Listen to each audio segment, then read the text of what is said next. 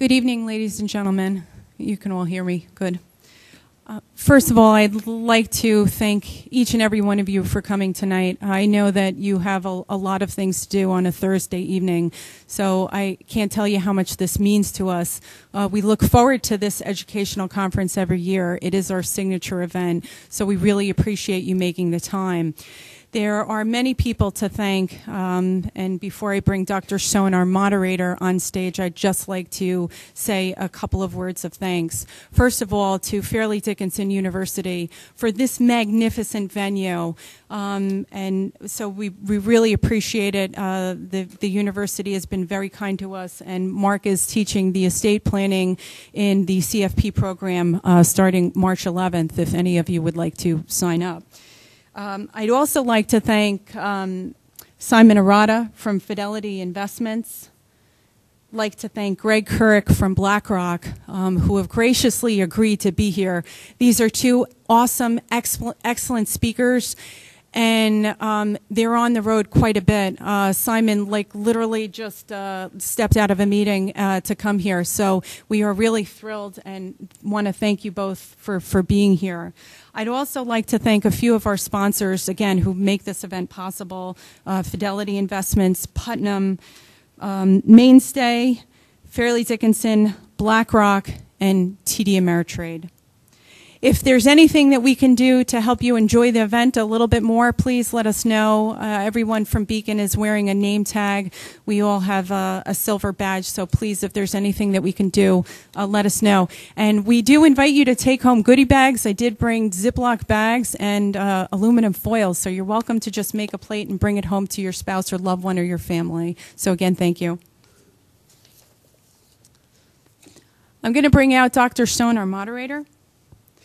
Dr. Sohn, who many of you obviously know, Dr. Sohn is um, um, a managing director for Beacon Wealth Management. Prior to joining Beacon, Dr. Sohn ran Somerset Surgical Associates for nearly 40 years. Dr. Sohn also, together with his late wife Judith, co founded the Ira Sohn Investment Research Conference.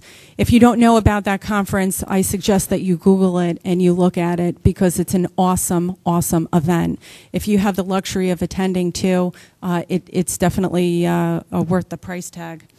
Dr. Sohn graduated magna cum laude from Phi Beta Kappa with honors from City College of New York and graduated from New York University School of Medicine. He earned his MBA from this prestigious university, from this program, and he also is Series 65 registered. So I'd like to bring him up here, and again, thank you all for your attendance this evening.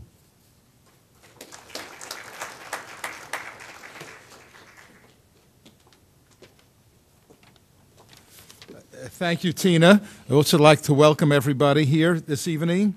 Today, we highlight the recent changes in the tax system. More are likely to be formulated, and as investors, we have to learn to function to maximize our returns and minimize, wherever possible, the negative effects of these tax changes. The first speaker is Mark Germain. Mark is CEO of Beacon Wealth Management. He provides financial planning and investment portfolio management services and manages approximately $260 million in assets. Mark's formal education was in finance and statistics. He has a BA in economics and accounting from Southern Connecticut State University and an MBA in finance from Northeastern University. He started his career in Boston with Touche Ross. He created original software to formulate and evaluate new health related bond issues. This background has enabled him to be at the forefront of technological advances in finance. He taught accounting and finance at Northeastern University. For many years, he has devoted his time to financial planning and diversified asset management. He is on the adjunct faculty here at Fairleigh Dickinson University, where he teaches in the Certified Financial Planning course. This is where I first met Mark in 2004 when I was one of his students.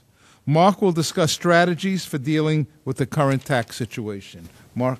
Thanks. Uh, are we on? How's that? Can you hear me? Great. Uh, I do want to thank everyone, just as, as uh, Norman and Tina have. Uh, I don't. I would like to thank all of the sponsors who Tina's named. Uh, we're going to get right into the presentation. We're probably a couple minutes behind, but we will catch up. Um, and I will try not to talk too fast, although all of you who know me know on occasion I do have a tendency to talk a little bit quick. So tonight we are going to talk first about what some of the tax law changes are. We're going to zip through what they are. We're not going to spend too much time on the impact on you, but we are going to talk about there's 13 of them in 2000 and, for 2013, kind of ironic. We are um, going to go through a number of topics, but the first thing I want to do before we get into the actual topics is for you to take a look at what's happened to the average tax rate on us since 1945. Take a look at the top spike, and from 1945 till now, if those of us who love calculus will know that we're on a downward sloping line. And that has continually progressed downward since 1945. What's really more interesting than that is whose tax rate has gone down the most. And as we look at this chart, we're going to see that the higher the income, the bigger the tax drop was. So we were up here, and we're at, what's that number up there? 71% dropped down to 34, dropped almost 50%. Okay, when we look at the top 1%, it dropped down uh, slightly uh, different number, but still almost 50%. Yet when we get to the lower income tax brackets, we find a 10 to a 20% decline in taxes over that time. I'm not an advocate for tax increases, but use your own imagination and tell me if you think taxes are going up the higher your income bracket. I'm telling you they're going up. Okay? It doesn't matter what happened just in 2013, it's what's going to happen as we continue to go forward. It's going to be sensitive to that, and you need to be sensitive to understanding what happens as taxes increase and the return that we get heads this way. Because we're going to go through that tonight. We'll first review end of the year tax changes and their effects. It's not a real estate lesson, but we're going to talk about location, location, location, which is where you put your investments. We're going to talk about keeping capital gains in your taxable account, not in your IRA account. You don't put the big growth assets in your IRA account. Although it sounds logical you would, you don't. Tax free return of municipals still very powerful. We're going to show you how to calculate what you would need to earn on a taxable basis. Summarize why careful selection of the investment vehicle is going to be critical going forward.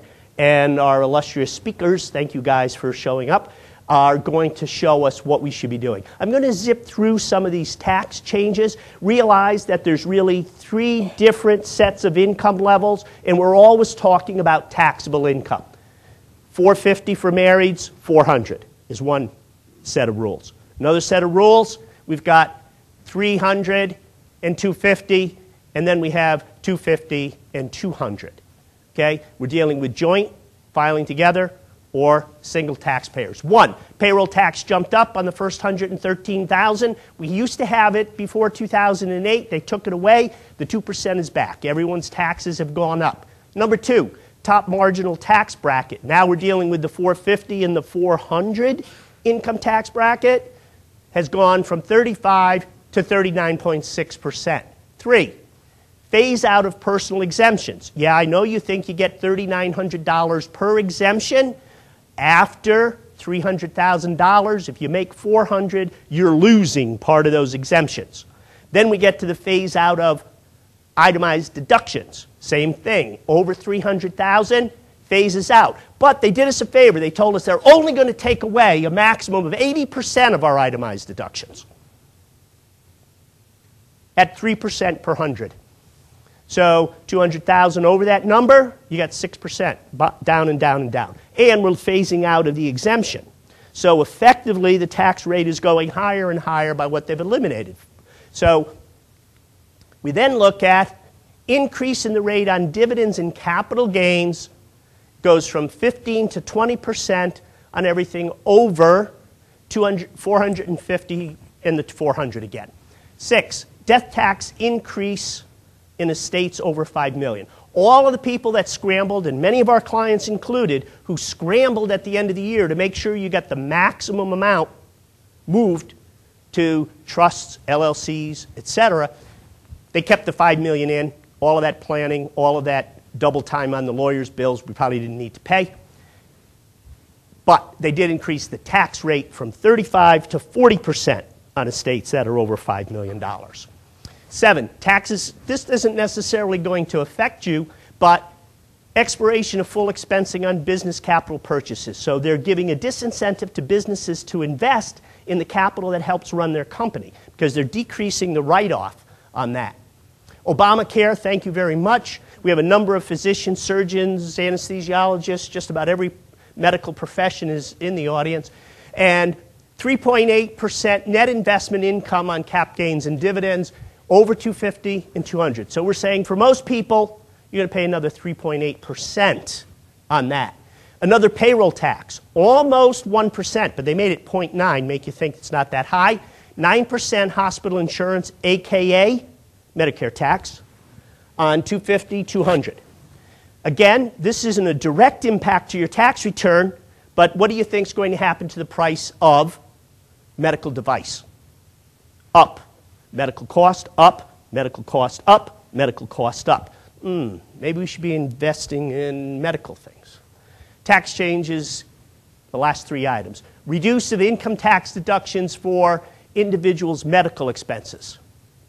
So, if in the past you made $100,000, you had $10,000 of medical expenses, you could deduct 2500 You had to reach over 7.5% of your income level. Now you have to reach over 10% of your medical. Of your medical. Elimination of corporate income tax deductions related to Medicare Part D subs subsidies. Who doesn't seem to affect you, except what do you think is going to happen? Cost of goods and services up. Limitation for corporate tax deduction for compensation of health insurance executives. Nobody cares if the health insurance company's executives that they don't get as much deduction on their tax returns. What do you think is going to happen? Medical insurance is going to go up. This sounds like all seven items tied to medical costs, right? Anyway, there's a lot of them. Let's talk about some strategies and this will spend a little bit more time. You're able to ask questions at the end. We are going to have a Q&A. So if I go through something and you want more detail, you can wiggle in your chair and I'll give you a little bit more. You can wait and ask a question later. So redistribute income to lower taxpayers. I have children. Many of you have children. You can redistribute income. How do you do that? You can transfer assets. We're going to talk about that.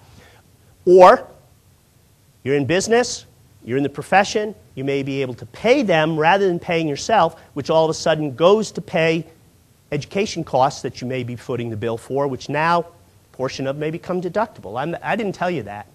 Um, family LLCs are limited partnerships. Redistribute the asset to that entity, make the children partial shareholders of that entity, taxed at their rate rather than your rate but you still maintain control. Gifting. You can gift up to $5.2 million during your lifetime without a gift tax. It's not just the $14,000 per year. However, if you gift in excess per donee in advance or in excess of the 14, then you have to file a gift tax return. So it's helped our CPA friends, all right, that this is a strategy. Accumulate future gifts in a charitable gift annuity. We've talked about this before. We have an article that Dr. Sohn and I published in Medical Economics, and it talks about the use of a charitable gift annuity as one of the vehicles. So I know there's some people in here getting close to retirement, and you may be in the last few years of high income. If you're a gifter, then you might want to make larger gifts now, get the deduction because they're still allowed, and then over time gift them away from the charitable gift annuity. Right? That's just one strategy. Um, define benefit plans for self employed. This is only going to apply to a few people, But as I look around the audience and I take a look at some of the people that are in independent businesses, it's a great strategy. If you're older, your employees are younger, or you have very, very few employees. Maximize your 401k. Watch our blog next week. We're starting a series on maximizing your 401k and why it makes so much sense. We're actually going to give you a very clear example. We tell every one of our clients if it's possible, save in your tax deductible savings account first. 401k, 403b, 457, whatever it may be, save there first. And we're going to talk about location. Remember, I said location, location, location. I'm going to give you an example, but before I do that, I'd like to. I want you to remember something. I've done this before, but I want you to remember this simple little rule. It's called the rule of 72. You take your return, you divide it into 72. It's going to tell you how long it takes to double your money. Everyone wants to say, how long is it going to take me to have 2 million instead of 1 million? Well, it's going to take you about 14.2 years if you make 5%. If you make 9, it's only going to take you 8 years, which means 16 years from today, you're going to have four times the amount of money you started with. So, what are we looking for? We're looking to net the biggest number we can. Here's $100,000 in high yield bonds. I apologize, Greg, I put 9% up there uh, because this is an earlier slide.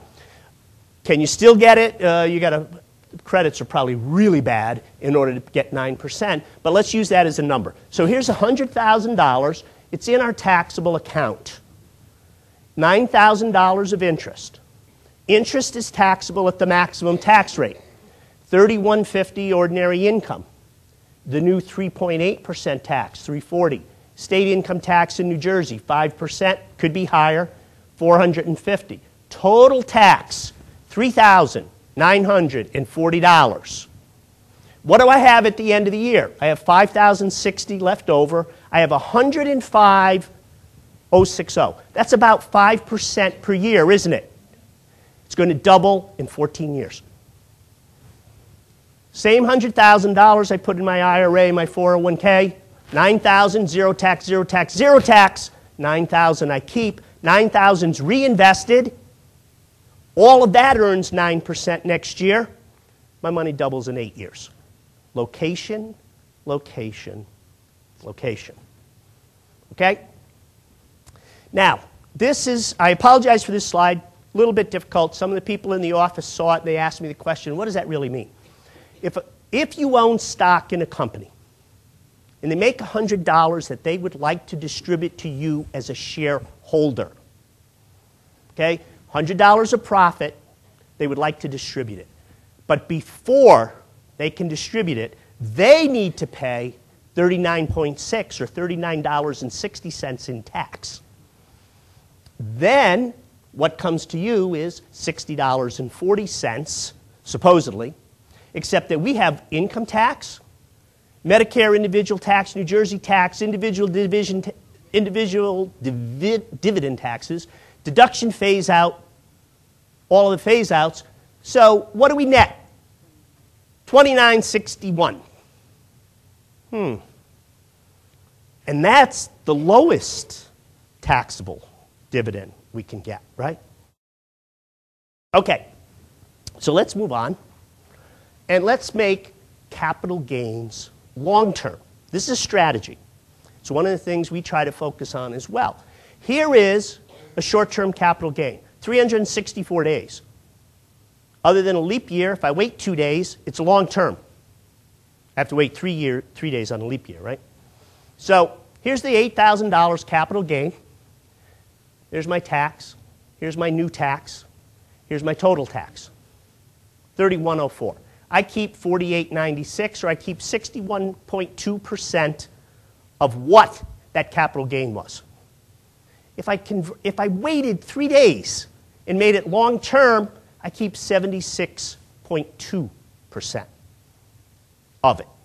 What does that mean? My average return, my net return has gone up. I'm going to double it sooner. It's a good strategy. Okay? Volatile markets, we don't always have that option. Sometimes we have to take the short term gain, and then what we can do is harvest losses to offset the gains. Literally, say, wait a minute, I don't want to pay short term capital gain tax. Let's have some short term losses. Let's take them. And you notice we did that last year, that we took some of those losses and we said, let's take them. And we bought back the exact same security later on. Within, we actually bought it back the same, the next day. We also did it on profits. We took profits for people who had accumulated losses and we bought the same security because there's no wash sale rule on profits. You can pay the taxes on profits. You can't take the loss if you buy the same security within 30 days. The ETF market allows us to buy the exact same security with a different symbol. So we can buy the SPY. What's the symbol in iShares? What's the symbol in iShares for the, uh, uh, for the large cap uh, IVW? So we can buy IVW. We can sell the SPY today and buy IVW. We got the same exact investment, but we took short-term loss or we took a long-term gain and took the benefit of it. So these are some strategies. But remember I talked about the 401k? This is a really important concept. We're going to show you not a terribly high income family, but a reasonable income family, husband and wife making $270,000 combined. Okay? So if that was me, I'm making $70,000. My wife is making 200. That's what I'm going to do the next time anyway, right? So 270,000. We can deduct $35,000 contributed to our 401k plan.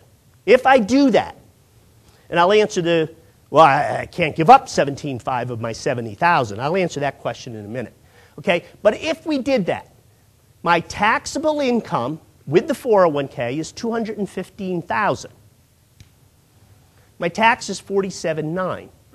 Without the 401k, our combined taxes, our combined taxable income 252,500, my taxes are 60,200. Who made that investment for me?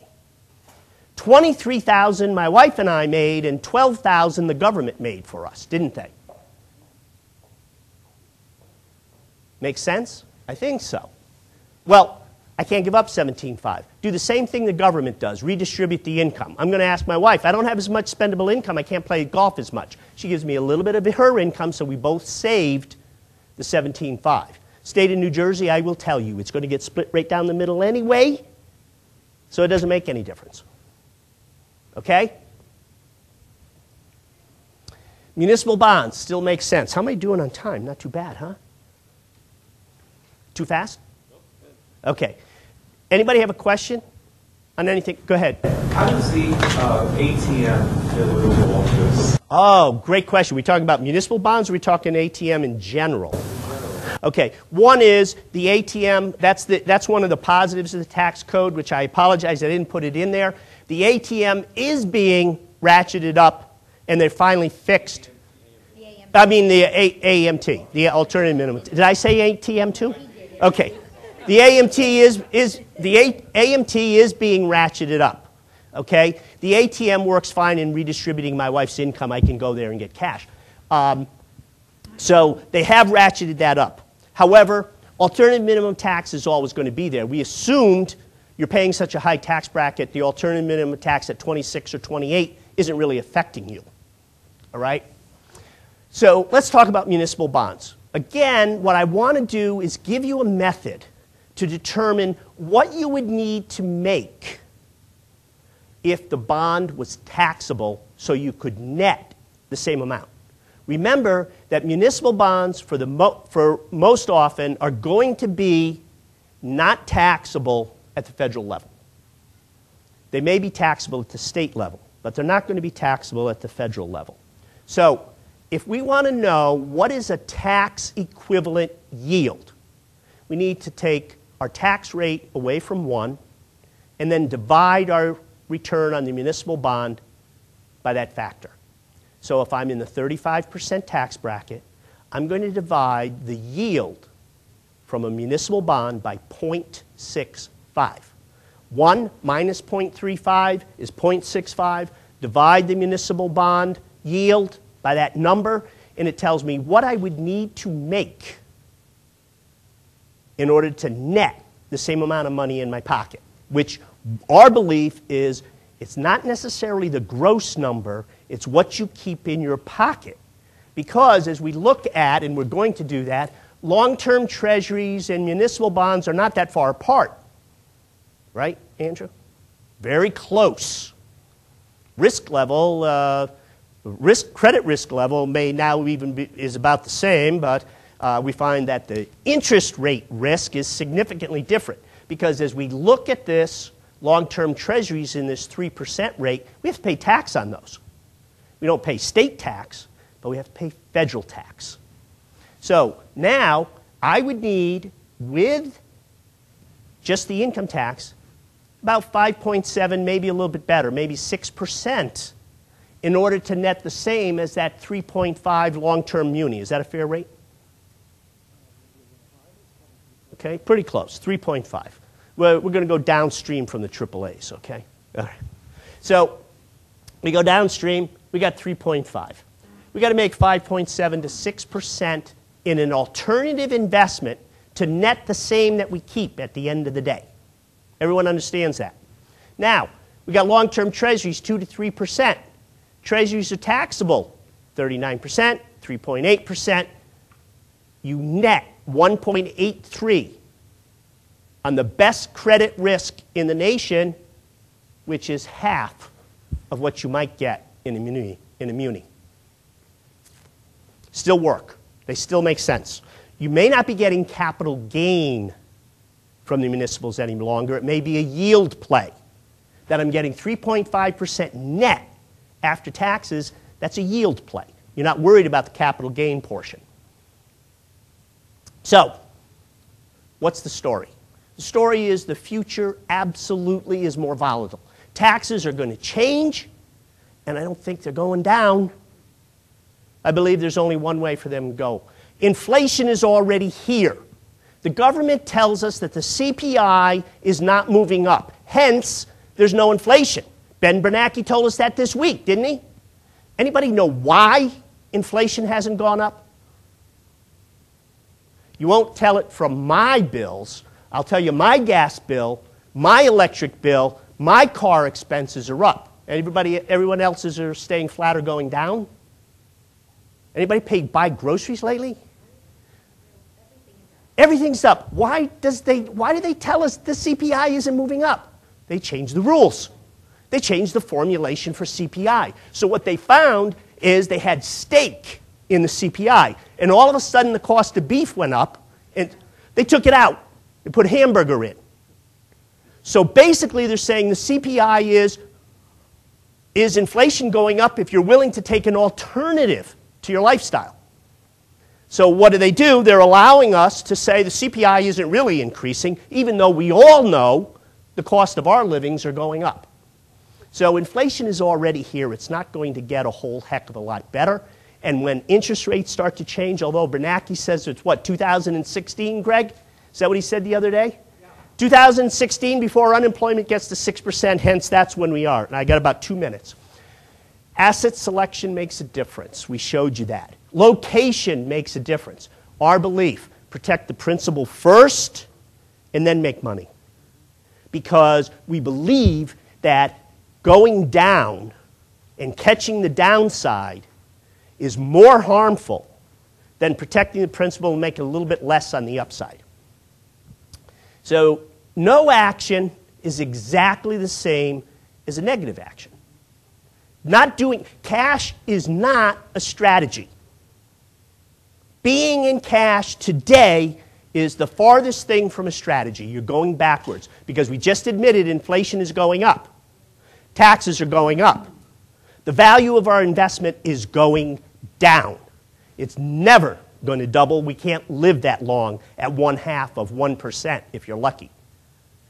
It, we, what's that? One half of 1% in 72 is all I have to do is live to 207 years old and my money will double.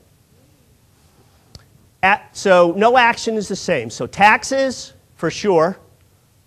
Inflation, asset selection, principal protection. That's an action plan. And you need to have a plan in order to get this thing done. So now I've given you some of the strategies. I told you what's happened in the tax code. We're going to answer questions later on. Whatever you have, you have more questions, we'll, we'll take them all. And, but we're going to get some thought leadership on what's happening macroeconomically. Long and short strategies.